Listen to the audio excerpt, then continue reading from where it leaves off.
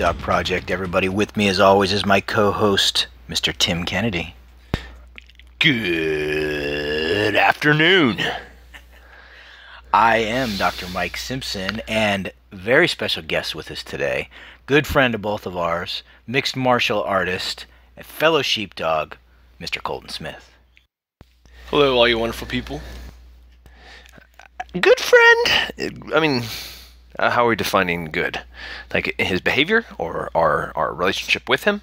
Um, I thought it was more on a scale of 1 to 10 type thing. Okay, so like our intimacy, our uh, I mean, how, how how what are the parameters that we're defining this? How comfortable would you be in a cold weather situation spooning with Colton? I think that's the big question on everybody's mind. I think we're good friends. Yeah, I think that's Okay. that that is a proper barriers. No, No no, barriers. nope. I would be toasty that night. no worries at all. I was gonna drink my Topo Chico, which is laced with a smidgen of pomegranate juice. Ah, it's delicious. I'm sure it is, my friend. I'm sure it is. So, Colton, for those that don't know, uh, Colton recently returned from his what number tour was it? Third tour in Afghanistan. Came home safely. Th- America, thank yeah, you for that. yeah. Combat tours are awesome. So, so tell us what else you've been up to. You know, uh, so being a family man, I got uh, two wonderful kids, a lovely wife. We own a business, Enlisted Nine Fight Company. Running the business, being an entrepreneur, fighting, training, training my soldiers, uh, training to be more lethal every day, as well as uh, soldiering uh, the same. So that's what I've been doing. I've been gone for nine months back in the wonderful United States and excited to hit the ground running and fighting and being a sheepdog instructor and getting better and better at everything I do. And when you were over there, just just to be clear for everybody, so you were you were over there serving your country on the front lines, protecting our freedom, but that didn't mean you gave training a back seat. You were continuing to train. I know you were you were posting it on social media, you know, both in the gi and out of the gi. You were you were training both armed and unarmed combat every day. Am I correct? Yeah, you know, my guys and I were blessed to be with uh, on a joint task force with with uh, some of the best war fighters in the world. Um, it was a, a blessing. We learned a lot. We were able to, uh, as well as assist a lot of people as well with hand-to-hand combat. Um, I'm blessed to have several soldiers that share the same sentiment as I do as far as uh, hand-to-hand combat goes, and knowing that it's the most intimate form of uh, of uh, fighting there is. I mean, as a hand-to-hand engagement. Bottom line, I mean, you take away the tools, the weapons. Uh, Tim talks about it, hands kill, and I was blessed to be able to share my knowledge and, and learn more as well with individuals from different agencies and different uh, SOF community groups and stuff like that. I mean, why? I've, I'm I'm just gonna have to go off script here, Colton. It just doesn't. Things aren't computing with me in my brain. What you're telling me is, first of all, do soldiers have guns? Soldiers do have guns. Okay, that's curious. Then why? Why? In the in God's green earth, would you need to train to act? To, if you have guns, I mean, if you're always packing, You're packing all the time, You're bro. packing all the time, Colton. What, I mean, why? Why?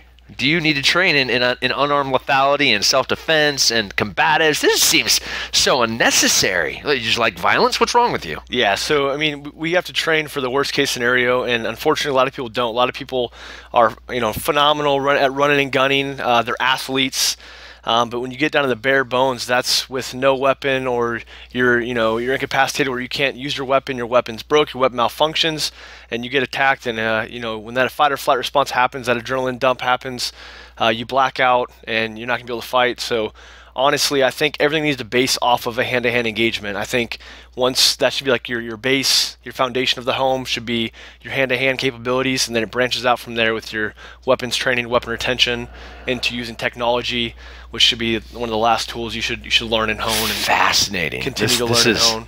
This is beautiful stuff here. So, um, I mean, let's just make an example here, a, a parable, if we will. Um, you said a beautiful thing. You said that the fight and flight, with fight or flight, you train to fight. So, is that something that you think could be nurtured? Um, that some people could maybe get better at the whole fighting thing? And do you think that once they get better at the whole fighting thing, that translates into the other warrior aspects of being somebody that's hard to kill? Like if you are one of those guys that's always packing. Yeah, I'm making fun of you if you're not catching the sarcasm. If it's not flowing through these cords and through this computer and into your brain, I'm making fun of those that would actually try to say that to us. Um, two, three massive war fighters here that are essentially saying that you can nurture an aspect of training and it and it bleeds over and complements into other forms of being a badass. Do you, would you agree with that? Without a doubt. You know, I've been a martial arts instructor and combative instructor for a long time, and I've taken uh, timid soldiers, whether they're infantry, whatever their their MOS is, or occupational specialty in the military or police force, and I take these guys and beginning of class, you know, they're very timid. Uh, they don't, they're not very assertive. Um, the way they carry themselves, uh, maybe they want to be in the back of the class. And by the end of the course, it Sounds like me in bed, but go on. Exactly, like like a dead fish, like Tim in bed. But no, uh, I wouldn't know. All right, don't ask, don't tell. But no, I mean honestly though, you see these guys once they graduate the course, and you see just how assertive they are, and just how that translates into all aspects of their life as soldiers, as civilians, as men. They become hard targets once they learn uh, these tools of the trade of being, uh, you know, in a hand-to-hand engagement and knowing how to handle yourself. With that being said, it's a perishable skill. You have to know uh, like, like you always talk about your assets and liabilities uh, when it comes to hand-to-hand engagement and what you can and can't do. And if uh, you have bumps, bruises, injuries, um, or you haven't been training, then obviously you become a liability. So let- me chime in here from the sideline. So so here's my question. Here's the question a lot of the viewers have, excuse me, a lot of the listeners have. So you're talking about you're training in all aspects of warfare. You're training you're training with your your firearm. You talked about training in technology and everything else. And you're also training about talking in hand-to-hand combat. So you telling me like you get in a situation where your weapon fails or whatever it is. So you're gonna call it. Are you gonna call a tactical timeout? You guys, you you know, you're gonna hand your your opponent a gi. Are you guys gonna oil up? Uh, you know, how, how's that gonna work exactly? Yeah, absolutely, and, and that that's really you got to you got to train like you fight, and you got to train in the worst case Training scenario. Like you fight. I want to say we've heard that before, Tim. Have we heard that before? Yep, we've heard that before. The- These are things that are being echoing, that have been echoed um, through pretty much everybody we've talked to. Obviously, Colton's another like-minded uh, war fighter, warrior first and foremost, a martial artist, um, freaking hero. God bless America. I mean, I just don't know what to. So, so all that cra- you're talking about training, not not in the gi, not in a pair of Hayabusa shorts or a singlet. You're talking about training like you fight. You're talking about all the all the the soldier stuff. I'm making air quotes over here that, that we wear. You're talking about body armor. You're talking about uh, ballistic helmet, night vision goggles, your weapons slung in full uniform and boots. You're talking about bring it the way you're going to bring it when you actually have to. Am I right? Absolutely. You know, you don't in training as well when you're doing hand to hand. You don't want best case scenario where you're going to be in your fight shorts on a mat.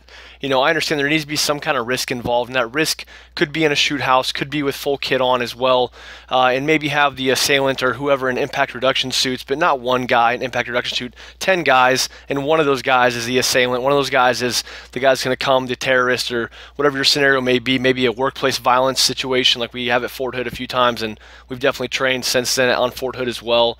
Um, and luckily, it takes something like, unfortunately, excuse me, it takes something like that for chain of command or for the higher ups to realize, man, maybe we really need to do uh, some training in this and understand. And that's another thing, another piece of it as well. For police forces, for military, no matter what you're doing, a plot of grass and some some technique from from a decent instructor. I mean, that's that's better than nothing. And we talk about it a lot where police forces and soldiers don't train. You know, they go to the range once once a year, maybe. Um, they do a PT test once a year, and they don't really hone their craft. And they call themselves war fighters. They call themselves operators or whatnot, but they don't want to, you know, utilize the base. Which again is a hand-to-hand engagement. I go back to it all the time. I tell everybody all the time. The most intimate form of combat is a hand-to-hand engagement. I mean, it's take away everything we have, and that's what you're left with. You know, and that's a, a huge hole I think in people's game, and, and where people can be a- a real liability and real really dangerous is those people that are out there, and, and some of them are probably listening right now who say, "I know I do. I am with you guys. I am a sheepdog. I go to the range." And, and I go to jujitsu and, and I you know I, I work this and I work that but the question is do you integrate like you're talking about? Do you are you putting your duty belt on? Are you putting your body armor on? Are you doing it in uncomfortable situations? Because yeah, when it goes down, you're not wearing a gi, you're not wearing a singlet, you're not wearing Hayabusa shorts, you're not oiled up. You're wearing whatever you know. You're walking across the HEB parking lot or whatever you you know pulled over, did that high risk stop if you're a law enforcement officer, whatever it might be. You know, and something else to think about as well is uh, even a smaller detail. You talk about nutrition, what you're putting in your body. Uh, I tell my soldiers, I talk to them all the time about it. You know, you're, you're reincarnated as as Lightning McQueen. You know, and you want to be on 87 octane or do you want 110 race fuel when you go out there tomorrow for your PT test, for your mission, for a Ranger School assessment, whatever it may be.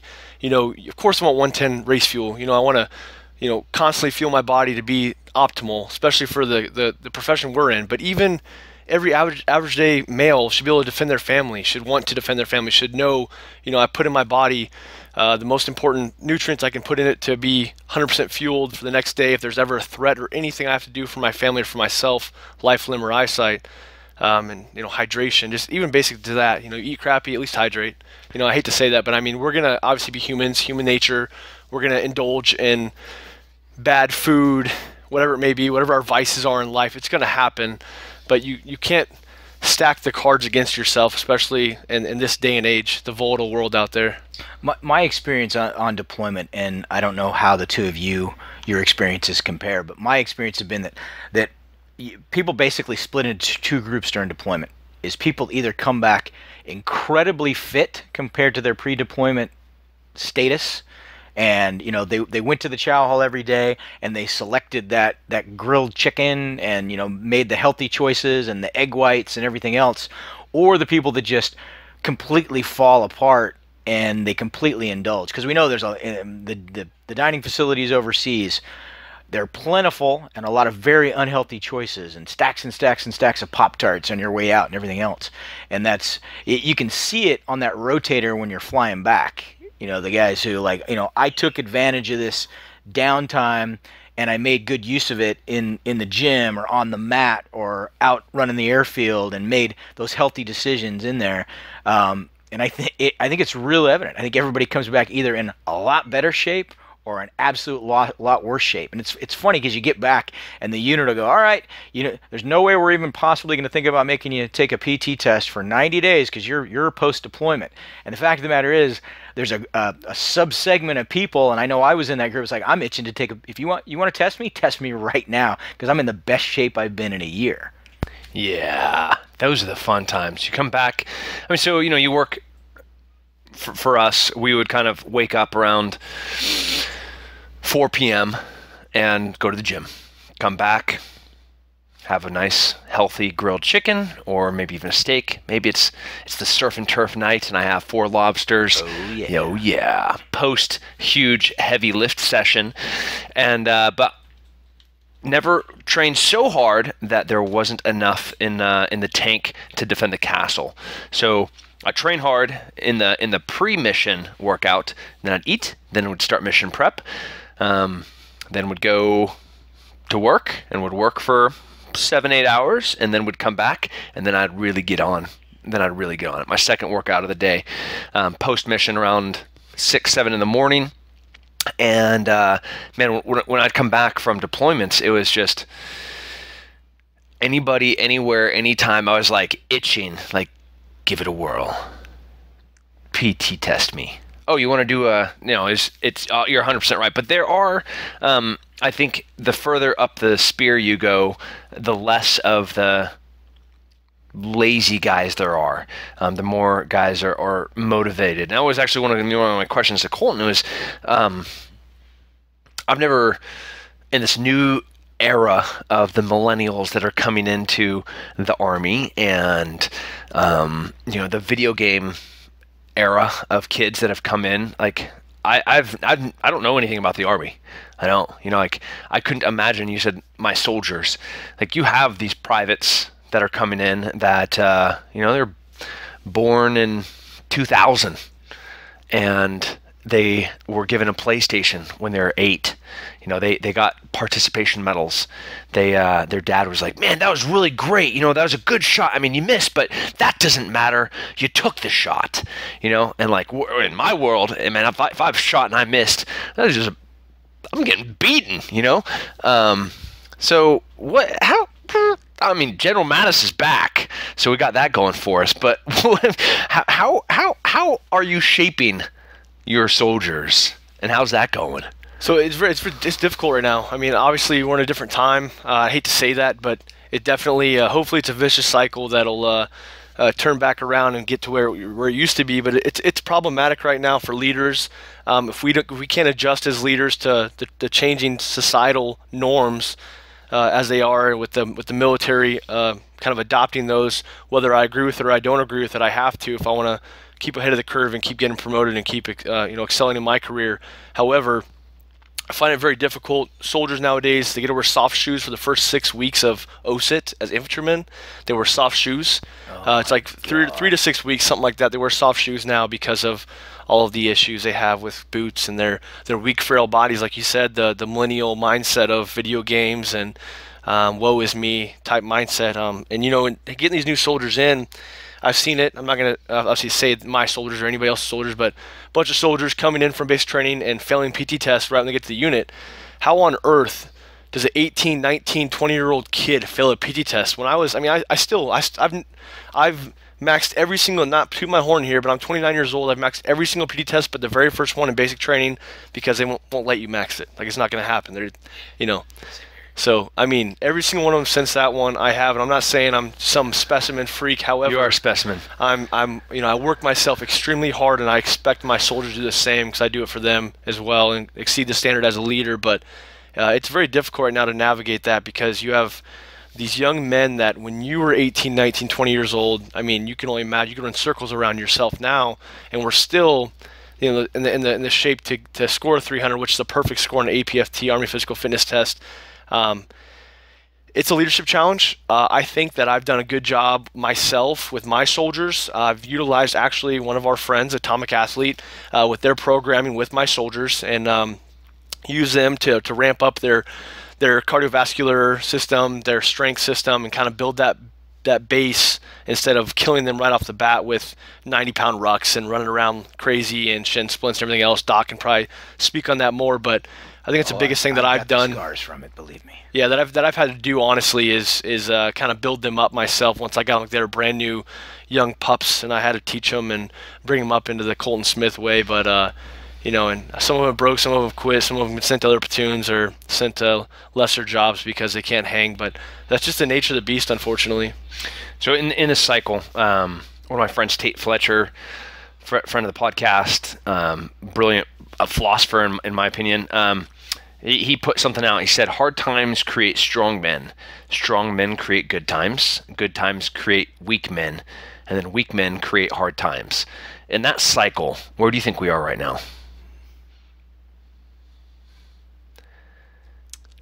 I mean, weak men. I mean, weak men are created. Have we bottomed out? I, I sure hope so. I hope we bottomed out because then, then we can look up. I mean, you, once you hit I rock bottom, see us on hard times, definitely. So that I mean, if if this is uh, hard times, um, we got hard men coming finally. Hopefully, I've been uh, which like positions us well uh, to shape and create what those men look like. You know, like I, I think you know we're, we're full force multipliers. You know, we our our our job is to penetrate not only a single person or a single city or a single department, but we're supposed to effectively change a culture, a culture that has been impotent, a culture that has been weak, a culture that has been, um, I mean, just drudged upon for the past 20 years. And, and they've accepted that. And I, I, think that we are, I'm hoping that we're taking this turn. I'm looking at our nation and I'm seeing where we've been for the past 8, 10, 12 years, even 15 years. And I mean, from 9 11 on, it's gotten worse and worse and worse and worse. Um, but then I look across the sea into the Atlantic and it's still getting worse there. And we're not as bad as it is there. You know, in, in um, the Cologne Germanys and the Swedens and uh, Paris. Uh, I'm hoping that strong men are going to be coming back. You know, right after 9/11, I thought we saw we saw a move towards the right direction, and we had talked about it. You know, I I had been in the army a while when when 9/11 occurred, and we had already talked about. Yeah, I know you make fun of me all you want, but we we had already talked about. We used to call it the Pepsi generation. You know, that was before there was such a thing as millennials or anything else. We talked about you know the the younger generation. You know, the this the same type thing.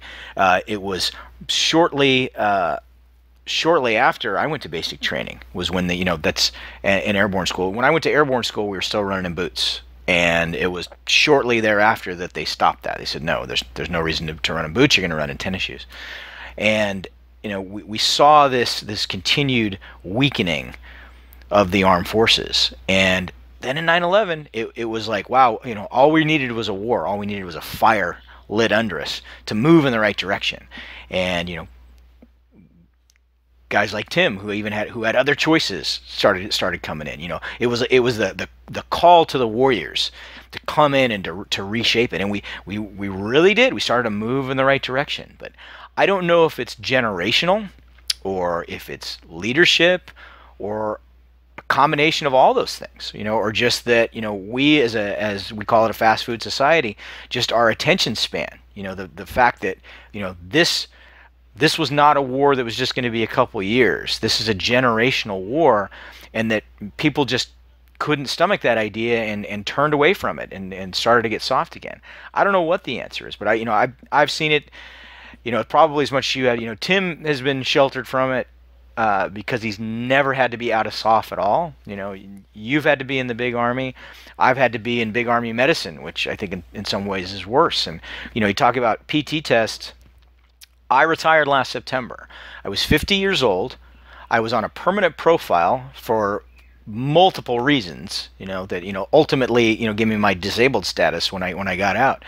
And uh, physically, I was barred from doing a regular PT test. And they said, okay, we have these alternate events, so you can you can do the walk or you can do the the bike or this other stuff. And I said, no. I'm going out on my shield. I have never not stepped up and done a PT test when it was required of me in all my 32 years of service. I don't care if I'm violating my profile. I'm going out of my shield, even if even if I got to crawl. And I went out there and I did it. And I'm lapping 19, 20 year olds. And I'm 50 years old running this. And I'm like, And this is ridiculous. And You're also like five foot four, and you're you're a ginger. six. You're a ginger six. troll. Do not take those two inches away from me. So we have like a 50 year old, five foot six troll ginger that's crushing 19 year olds. Um, do we have a chance, Colton? Do, we, I, I, I, I, I think do I have hope for the army? I think we do. And, Okay. and I'll say this. Last week I was in a town hall with uh, FORSCOM Command Sergeant Major, Command Sergeant Major Schroeder, who I know very well, Ranger qualified, 101st Cat from forever ago.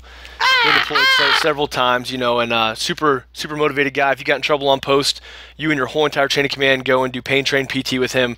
And they're talking, you're talking about a 50 something year old man that can run laps around my soldiers as far as PT goes. You know, he's a command sergeant major, definitely leads by example, and uh, definitely a change right now with with think with with with Mattis in the house, a few other uh, key generals that got pushed up. Um, Milley, General Milley, our our um, uh, the Army Chief of Staff right now, General Milley, amazing man uh, as far as being a warfighter goes, and he holds that to very high high regard. Uh, but listening to Sergeant Major Schroeder talk about, hey, listen, if you're a platoon sergeant, you're a sergeant first class in the infantry, and he kept saying infantry. There's a bunch of other MOS in there, but he kept saying infantry because, I mean, face it, they're they're the ones that are where the rubber meets the road, kicking indoors, winning wars. And he was talking about the infantrymen. If you're a sergeant first class, you're in the infantry, and your soldiers are out PTing and you can't because you're broke. Guess what? You're going to the S3 shop now. Like this isn't three, four years ago where you're just going to ride it out till retirement or until you make your your E8. Then you're going to be a broke uh, E8 at that point as a first sergeant. You're going to take your time, heal up in the S3 shop. Yeah, it might delay your career, but we have a, a we have wars to win. We have war, you know battles to fight as infantrymen. And I love that he said this, you know, and, and I, I believe the guy. I, I've I've worked with him a few times in my career, and uh, he seems to kind of be the kind of guy's man of his word. A few years ago, I don't think we'd hear um, an individual say that. I don't think he'd be he'd probably get fired. To be honest with you, I hate to say that, but he'd probably get fired if he's a general or a high-ranking uh, general level command sergeant major, telling you, "Hey, you're going to the S3 shop. Raise your hand if you got a permanent profile. If you're you can't rock with your soldiers." You know, half the room raised their hand. It's a bunch of it was all senior NCOs, and he's like, "All you guys are going to go to S shops. If you're not if you're on the line right now, it's wrong. You know, we're doing you a disservice, doing your soldiers a disservice." And that's guys like that that I feel they've accomplished enough in their lives where I, I honestly believe that he'd be content if they said, you know what, you're out of line, you're retiring today. He'd be like, all right, Roger, whatever, I'll retire today. Um, but I, I like that he didn't, you know, one of those guys didn't sell their soul that'll be honest with you about where you need to be and uh, who needs to be leading the charge right now uh, in, in America, you know, on the battlefield. So that uh, gives me hope for the future. Senior leaders like that that have been around forever, uh, that honestly care about the warfighter. That's that's what you know is keeps me in the uniform, keeps me serving when I don't have to. You know, I'm not in depth yet. I can still get out.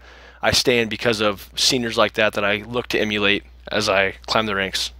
Yeah, I think one of the problems has always been in the military, and you see this in law enforcement, you see it in firefighters, you see it in paramedics, you see it in a lot of lines of work, is people who've been around for a while who might have been just shit hot out of the gate when they were younger. They might have been the you know the greatest thing since sliced bread. You know they were the you know they were the best fire team leader or the best squad leader or whatever it is, or maybe they were that that guy right out of the police academy who you know took somebody down or did something amazing and they've gotten older and they've gotten a little bit softer and they they can't keep up anymore.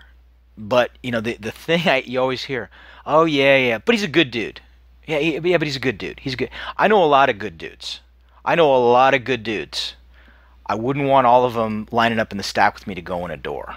So you know you have to make that differentiation. You know there were guys I knew in group who were who were good dudes, and uh, you know I'd sit down and have a beer with them, but they they stuck around. You know, they stayed at the dance a little bit too long, and and they couldn't do the job anymore. And it was time for them to move on. And uh, some of them would go, some of them go to those jobs and heal up, like you're talking about. Some of them would go to those jobs and hide out.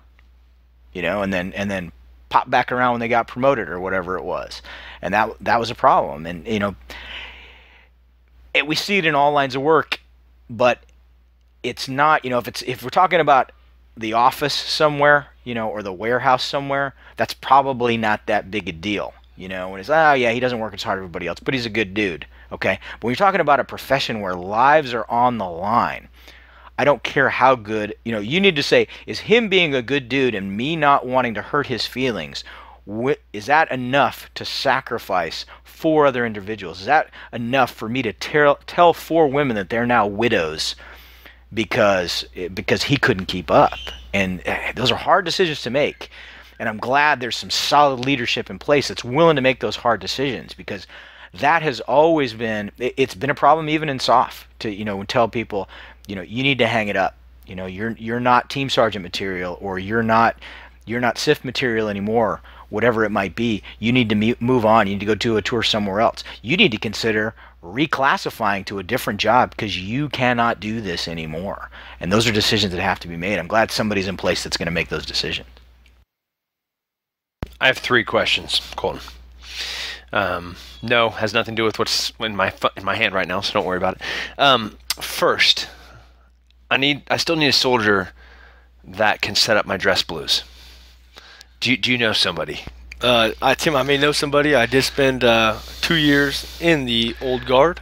Okay. So uh, I could definitely set your uniform up for you for. There's like ribbons and stuff that go on there, and correct. And then there's, there's like your some shiny things. And your name. This your is, name goes on there. This is correct. And uh, like I don't know. Not my name, your name. My name. Okay. Correct. Isn't, isn't there? There's a sword. Isn't there a sword? I was led to believe there would be a sword. I have a sword. I have an. I have a proper NCO sword. NCO sword. There uh-huh. you go. Has my name carved on it. Can I? Is there a way I'm allowed to wear that with my uniform? You're Tim Kennedy. I think we'll we'll make an exception. Well, let's say I, uh, um, I'm not Tim Kennedy, and I'm going in front of people that have that would not know or care who I am. Um, would that sword? Be a, a, an asset or detriment to, to it would to probably be a detriment to your to your career. Okay. Okay that's good to know. Okay. Good good good response to my first question. Second question. Um, mike asked if it was cold. We're in a cold weather environment and we had to stay warm. Are we good friends we are the best of friends. Okay, that's good. Yes. All right. Um, third question. What what so what's what's next for Colton Smith? It's really weird that you just left that one hanging there. that makes me. You know, I'm I'm glad I got to be somewhere and I'm not going to be around for whatever's happening. um, wha- wha- what's what's on the docket for the? I mean, not like this year hasn't been something already. Um, come on as a uh, sheepdog instructor, massive training partner for me. Good good year in the fight department for you. Crushed some souls, and then you went and hopped on a plane, flew overseas, and and uh, took your pet screaming eagle with you. And he's like, ah, freedom! I mean, that's uh, it's a that that was a bald eagle. Caw. That translates loosely into freedom. I'm not sure if you know that. Did you know that? I'm glad you speak Eagle. Yeah, I I'm glad at least one of. Okay. Um, I can. You want to hear Liberty? Leia, Please. What's that sound like? That was Liberty. no, I'm not joking. Um, if you get- um, so like lay, lay out. You got back. You've been gone nine months. Um, your your your wife found a dude named Jamie, and uh, and left you and kicked all your stuff to the curb. No, so what? I mean, what's if, if y'all don't know, that's actually like a thing. But fortunately, Colton's wife's amazing, so she's still around and didn't hook up with a dude named Jamie, who we would have to bury. But Yes. so what- what's what's coming up? So uh, initially, when I was coming back from Afghanistan, I was going to go do Best Ranger in April. I had a Best Ranger competition coming up, and uh, that is not going to happen, unfortunately. I'm gonna I'm gonna stop you right there because you're gonna you're gonna I, I want right now people are at home googling Best Ranger and I want I want everybody at home to know what a huge deal that is. So Best Ranger that's that's like you know uh, imagine the American Ninja Warrior uh, with like a John Wick type spin on it. I mean, that's that's the ultimate, ultimate. Imagine, you know, the Ultimate Fighter, which you've already been on, uh, you know, plus John Wick, plus American Ninja Warrior, plus a Sheepdog Response Course, like all rolled into one. I mean, No, that- seriously, in, that is in- everything. In the It's- th- in the in in the three days that normally that you go straight through the best ranger competition, you do what's essentially a Tough Mudder, you do a marathon, um, you do a gladiator challenge, you do a sheepdog event, you do um, you do a precision parachute drop. yeah. which is not and the way you do that the time doesn't end until you know if you land where you're not supposed to land then you're running to get there Sleep deprivation, food deprivation. sleep deprivation I mean, food deprivation you're uh, swimming making poncho rafts so making a raft out of ponchos with your rucks and all your equipment in it you're doing a prusik climb all the way up to that ridiculous rappel tower which if you've never done a prusik climb that's a smoker yeah. So are you a sadist? What's wrong with you? Why would you do that to yourself? Yeah, you know, so I was actually, I was voluntold by my regiment to go and do an assessment while in Afghanistan. I flew, did an assessment, and didn't train for it, but I was at altitude this deployment, uh, and uh, went and did it on like five days' notice. Smoked everybody, and my partner smoked everybody. The guy that was going to be my partner, and uh, he's done Best Ranger twice. Both his partners have gotten injured during Best Ranger, so he wasn't able to finish higher than I think eighth. Um, so that's what we were training for. Come back from Afghanistan. I mean, so I mean, um, oh my god, sorry, I got, I got lost there. Um, you, you said you were training with this guy, and um, you never, yeah, it wasn't gonna be me because I wasn't with you. so I mean, who is this other guy? Yeah, yeah. I mean, I just wanna, I, I just kind of need to know maybe his name. feeling a pang of jealousy I know. Uh, so uh, Yes. who's this? Who, who's this other person? so Sergeant First Class Ski, if you're out there listening, uh, talk about the most. You you check this dude out. You look at him like, oh, pff, I'm gonna run circles around this dude. And this dude's just one of those guys that has kind of the dad bod going on. All right. The vet bod, however, is the dad bod with some knee pain. So he has a vet bod going on. He's like, you know, mid 30s, been in the infantry for a long time, just salty as hell. But the dude runs circles around all these other like ranger qualified lieutenants that were like, you know, athletes in college, you know, whatever university, West Point, played football, and he smoked all of them as like a you know mid 30s, which isn't that old. Okay, Tim, I'm not trying to make fun of you and Doc over quite here, young but actually but uh, yeah, Sergeant Ski is uh, the anomaly. I think he may not realize he's already dead, but he's he's still there pumping. You know that that kind of guy. I hate this guy, whoever he is. um, and uh, there, I mean, there's a lot of little things that you said in there that kind of stung, you know, that uh, that hurt. So let's just go on. uh, just let me take a second here. All right, let's just go on with what you have. tim needs a tactical timeout Yeah, what else is coming up for you? All right, um, so with uh, not doing best ranger with somebody else. Yes. So fighting wise, I'm on a four fight win streak um, against four pretty good opponents, all from World Series of Fighting, Bellator, Legacy, one of those top organizations. They're all veterans for that. And, uh, you know, looking at fighting Jon Fitch this year, that'll probably be postponed, or Fitch might retire. That's probably not going to happen. Um, so I'm just going to keep training to whoever comes and gets that World Series of Fighting title while I'm out training, doing other things, uh, being sheepdog instructor, being a soldier still, obviously, and an entrepreneur with my lovely wife. And again, when I say entrepreneur, I may be classified as entrepreneur, but I don't do anything. She does everything. I literally sit there with crayons and color while she is uh, wheeling and dealing. And and uh, yeah, she's an amazing woman. Megan, you're amazing. I love you. So I gotta add that in there. So, and uh, so hold the phone. So, you mean to tell me that you're a soldier protecting our freedom, deploying to Afghanistan, but you're still a professional mixed martial arts fighter? it's wild. I know.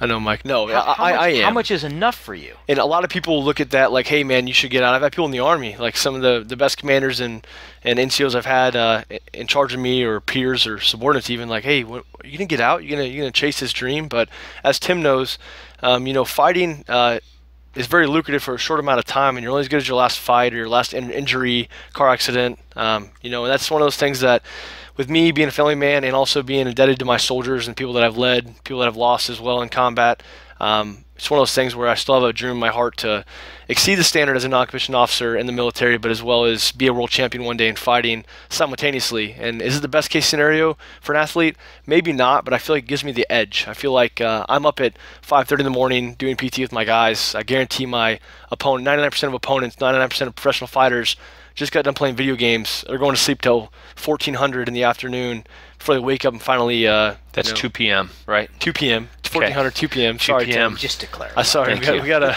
Army, translate that Army to Tim. times. But the the big point that I'm making there is, I mean, it, it, for all these people out there that are making excuses about how they just don't have time or they can't do something, you know, and I'm talking about so soldiers who say, well, I, I have a full, I'm a full time soldier. I I'm too busy to go out and train martial arts. I can't do. I can't work that into my schedule.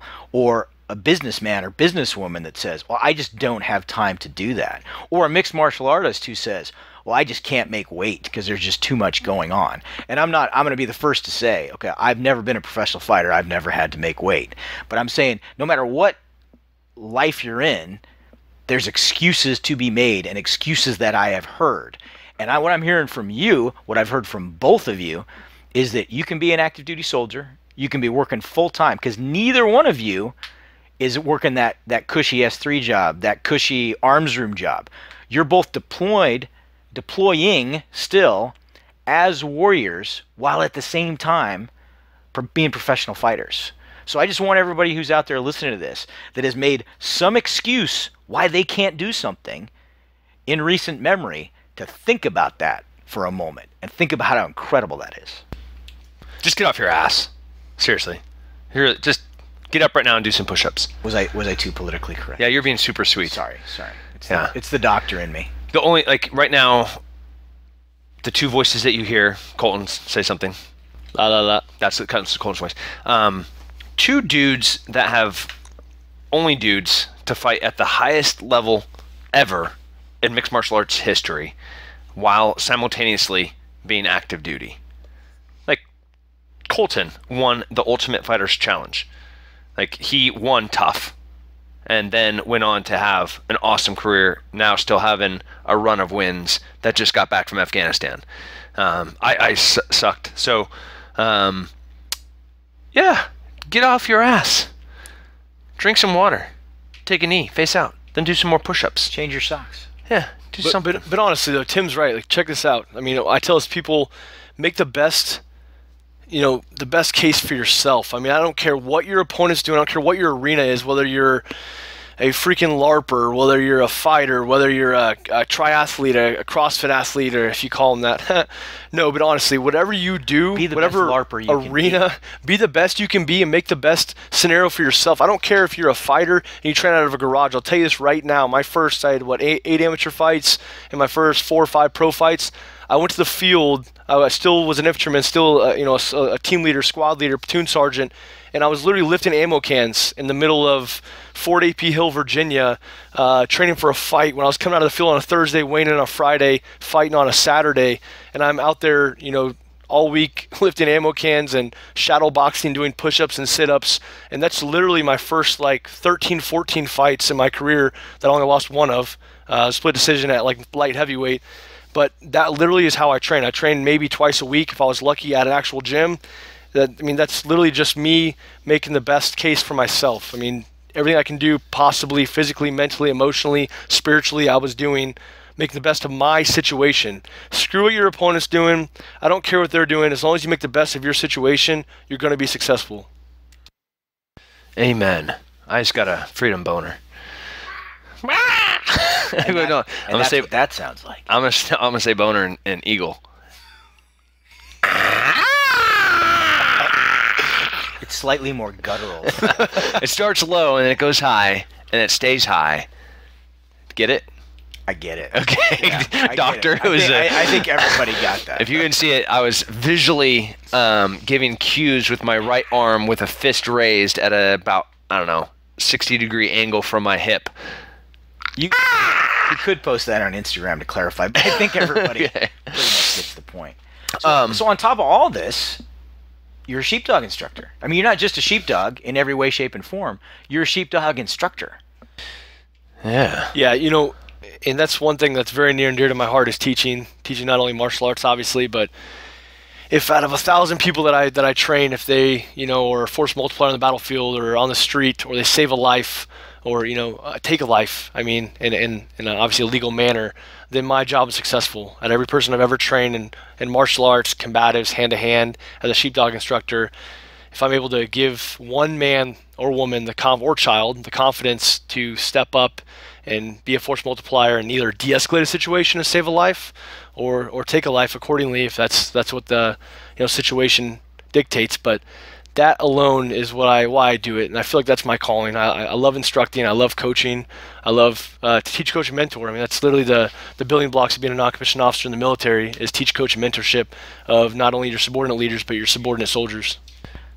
Having been taught uh, by both of you and having rolled with both of you and knowing both of you as I do, both Brazilian Jiu Jitsu black belts, modern Army combatives black belts, warriors in every sense of the word. I I don't know if people out there really understand. You know, I, I I've been doing this type of thing my whole life. And every time I get on the mat with you guys, every time I go to the range with you guys, I'm learning something new. And to anybody out there who's on the fence about maybe going to a sheepdog course, you know, this is this is from a guy who spent 32 years in the military, and I've trained with the best. I've deployed with the best. And I learned something new. I feel challenged every single time that I train with these two guys. So I hope people will just take advantage of it. I have uh, not to put Colton on the spot, but I have I have something I want to ask you. Oh yeah. So um, we have a nonprofit, the 501c3, which is the Sheepdog Survival Fund, and our mission is to supply military and law enforcement with the training and equipment that most prepares them for their jobs and their lives, essentially to make them hard to kill. Um, we have some kind of powerful people that you normally have on boards that are part of it, and we have the law enforcement representation. Um, I'm wondering if you would be okay with being our military advisor and our board member on the Sheepdog Survival Fund board. That'd be phenomenal. Absolutely. You know, I mean, working with working with the sheepdog has been an amazing experience. I mean, obviously the platform that you guys have created and uh, so where people can really think outside the box and know how to hone their craft and, and not be a soft target. Um, it's definitely right up my wheelhouse. Obviously, uh, Tim, without getting all soppy, has done a lot for me in my not only my military career, my fighting career, but as a person, as a friend as well. And uh, I'd be honored. And uh, if you guys you guys can't see us obviously, but Tim's on his knee right now asking me if I'll do this, handing me a Glock. So thank you very much, Tim. It's, it's quite it, it, it's quite moving. This was It a really moment. is. This, we this is, have had a moment. I'm I'm welling up just a little bit. what was the boner? The eagle boner? Guttural going high. I know it sounded slightly different. I think I think you need to check your eagle translation. That just that, I don't think I do not think that word means an eagle what you think it means. All right, so we're gonna have a good year. Colton's gonna be training, looking for fights. Um, he's gonna be teaching with us. He's gonna be training soldiers. Um, hopefully, not leaving us again for a minute. Um, maybe doing a. We we have a pistol one on sheepdog about how to get better to shoot. Maybe we do a, a how to get hard to stab or kill um, unarmed lethality video with uh, you and me. We put it out there. That'd be fun. Um, what else? It's gonna be a good year. Good stuff. It's gonna be a phenomenal year. How do you think your uh, medical course is going? Uh, I think it's going great. Yeah, second day. Uh, I'm exhausted. I'm surprised I still have a voice. People learning stuff. People pulling me aside on the breaks, and at the end of the day, telling me how much they're learning, and just the the thought that people are going to go out there better armed to save a life. You know, to save someone, which is what a sheepdog has to be prepared to do. I'm just, uh, I'm just glad to be part of it. I'm glad that uh, I'm glad that my all my years of training aren't just going to go to waste. You know, I can still be I can still serve. I can still be useful. I can still impart that knowledge on others. And even even when I get old and just completely broke, you know, people can use all the skills and learn all those lessons that I've said time and again. These have been paid for in blood. And people need to be using this knowledge. As uh, thank you for your time. Thank you for your wisdom. Thank you for your insight. Thank you for your perspective. Thank you for your service. Um, and I would like to sometime dive. We, we say this thing like, man, you just got back from protecting our freedoms. I want to go down that rabbit hole. I want to talk like people ask me all the time or, or say, Tim, thanks for your service. You know, thank you for fighting for our freedom. You know, and I was like, you know, I've put a lot of people on the ground and uh, I don't know if I actually did anything for your freedom. I'm not saying I helped a corporation get oil. That's not what I'm saying. I'm not saying I helped KBR Hal- Halliburton get a contract. You know, but this is a it's it is a complex thing. I know the people I put on the ground that I buried were bad people, but I don't think it's that easy. I think sometime we have to maybe have a few glasses of whiskey and then and then uh, go down this com I mean what would really be a philo- philosophical perspective into what does it actually take to be free you know as a guy that just got back as um, Colton sitting here uh, myself who's been you know you can't count on both my hands and feet how many times I've been over and Mike who's had 30 plus years in this that'd be a fun that'd be a fun um, panel discussion uh, maybe it might be depressing or it might be I don't know. I'm curious. Yeah. Well, you know, the age the age old question has always been, you know, can you have you can't have un, you can't have full security and unlimited freedom. You know, and and how much of that are you willing to trade off?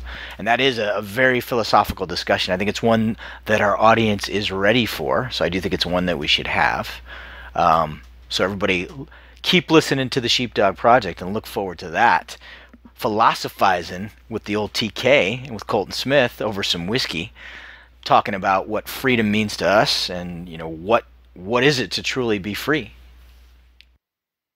Yeah. The um, maybe we'll grab somebody outside because we, we, the three of us would have a similar perspective. Maybe we grab a Tate Fletcher or a, or a Joe Rogan, um, and Aubrey Marcus. Um, al- almost that contrast. But uh, I'm looking forward to this. I would love to have the contrast. I always, you know, I me like you and like you Colton, I love I love talking to people that come from totally different backgrounds, have totally different perspectives and and having these intelligent conversations with them. You know, I'm I'm all about doing that. Colton, Tim said it. I'm going to say it too, man. Thank you, my brother, for being here. Much appreciated. Thank you for your service. Thank you for coming home safe, so we don't have to worry about you anymore.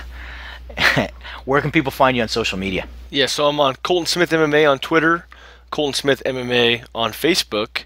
I do not have an Instagram. However, my business does, Enlisted Nine Fight Company on Facebook, Twitter, and Instagram. Please check me out. I check my messages. I'll hit you back. Send some hate. I don't care. Whatever it is, I'll still check you back. God bless. Thank you so much. And Tim, you're you're not really on social media at all, are you? Tim, I'm not. If I, if I wish people could see what Tim is doing right now, trying to trying to make Colton laugh on the side. He's getting doing all the social media plugs. Colton Smith MMA um, across the board. I was sitting here stroking my Hornady reloader. First at one hand, trying to get eye contact, and then two hands. Um, just vertically stroking, and uh, finally he looked over and made contact.